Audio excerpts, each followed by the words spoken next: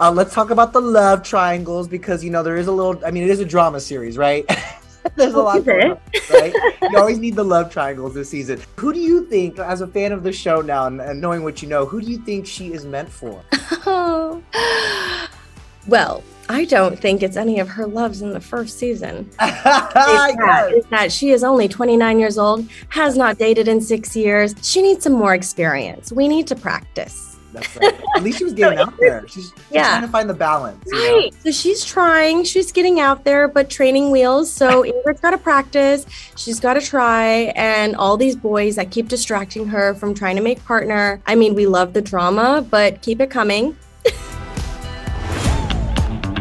Being on the partner track is how you find out who you really are. It's cutthroat, and I'm so close. You had worked nonstop for six years. It's in the back. Do you really think you can start dating New York's most eligible trust fund without anyone noticing? Now that I'm on the Suncorp case, I may never have time for date again. Don't let this place suck you dry, Ingrid. I feel like with any new series, it's easy to try to draw comparisons to other shows just to kind of figure out what it is, right? And I will say you're in good company because this show is being compared to other series like Sex in the City, Suits. I'm even getting kind of like Emily in Paris vibes. What do you make of that? What do you think? I'm honored. These are all shows I love. So it's such an honor.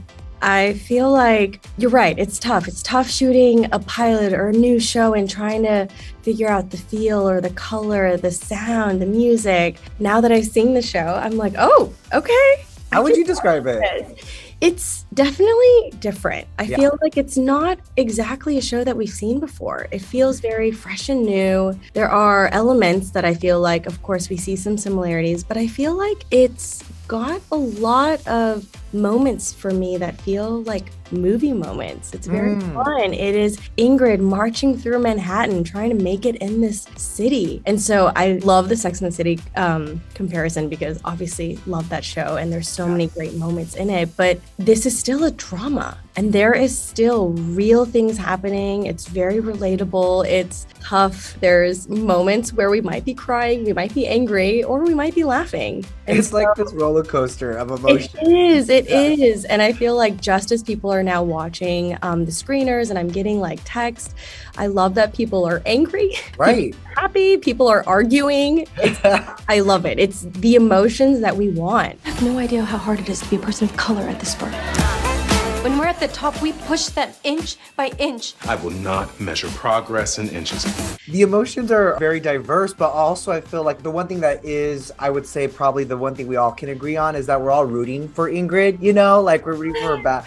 She's this first generation Korean American woman, really trying to like carve her own path. And even though she makes it look easy and doesn't let people see her sweat, we all know that's not reality, right? I mean, how much could you relate to Ingrid in this character?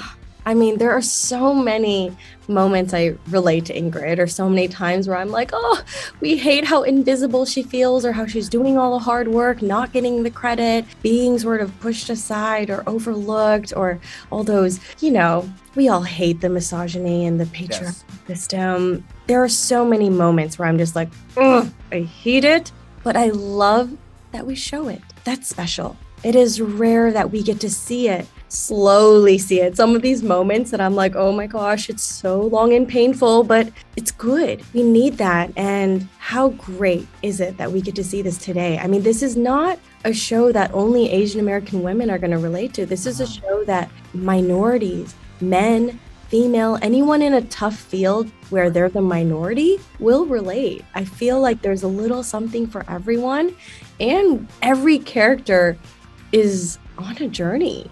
We see everyone battling themselves, battling their identity or what they want, who they want, who they are. Ah, Yeah, I'm excited. it really does have something for everybody, including, you know, for people who loved with Sex in the City, we got to get like everything that's going on with those characters in the city, but also the fashion. And I feel like the fashion also tells its own story in this show. Let's talk about the clothes. How fun was it for you to work with the costumer on this? We love the clothes. I mean, all of the characters have such a distinct style, and I Yeah. feel like really special, especially for Tyler, Rachel, and Ingrid, like the trio.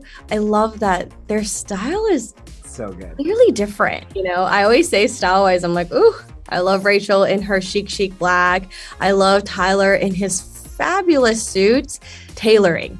Right. Boy, did I never, wow, I just speechless. did not realize how much of a difference good tailoring can do. Right? And that's mm. so true for the world she's in too. I feel like you really have to have like a tailored look, you know? You gotta look good. And even for Ingrid, I mean, some of these suits, who knew? Like a vintage Valentino suit, okay.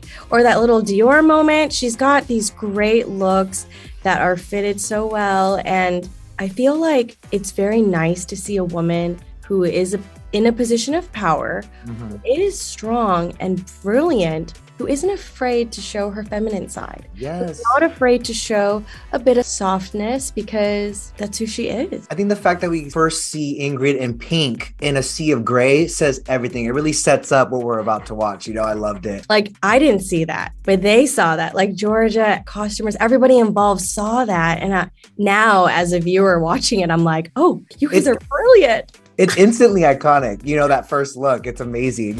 Yes, honey. We know you're not a part of the movie, but I want to ask you about Teen Wolf. Do you have a message for fans who are maybe a little bummed that we're not going to be able to see Kira this time around? Uh, well, one, I will always love the fans, and I'm so thankful for the moment that I got to be Kira, and thankful that fans still remember her. And yeah, I mean, it's okay. She still lived, and she had her time. So hey, watch Partner Track now. I was just about to say that. Now you guys can see, you can see Arden in the city now, y'all. right. I feel right. like this is so fun. And it now we get a whole season, 10 episodes. I'm going to need a second season. I'm just putting it out there. Let's yeah. manifest it. Yeah. We're manifesting right. it.